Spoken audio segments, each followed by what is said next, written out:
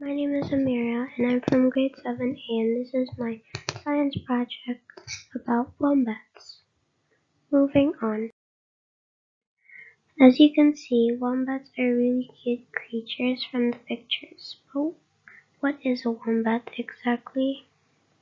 Wombats are short-legged muscular animals that are native to Australia. They are about 1 meters in length with small stubby tails and weighs between 20 and 35 kilograms. There are three extant species and they are all members of the family Wombateidae, which is the scientific name for a wombat. Now, these are some basic descriptions of a wombat. As you know, Wombats are just called wombats in general, but they have a scientific name called Wombateidae, and their habitats can vary and they are herbivores. They weigh between 20 and 35 kilograms. The heaviest wombat was 38 kilograms and sadly it died.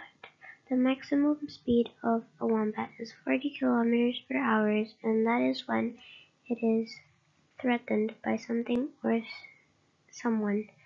Uh, the length of a wombat is one meter, and they mostly eat grass, roots, and herbs.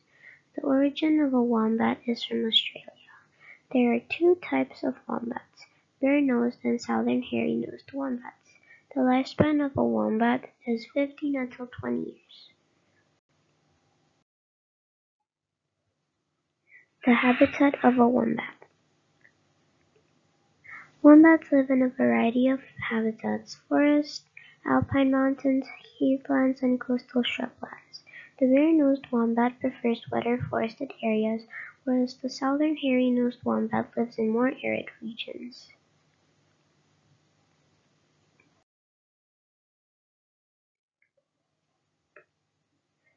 Here are some awesome and kind of surprising wombat facts. There are seven of it.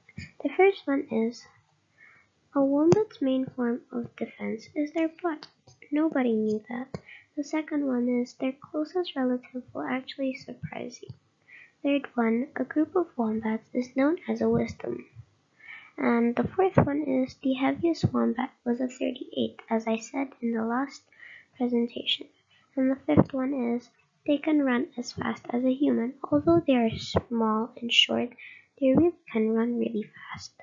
And number six is their teeth don't stop growing. And number seven is their guts can hold food for 70 hours. That's all for my presentation. Thank you for listening.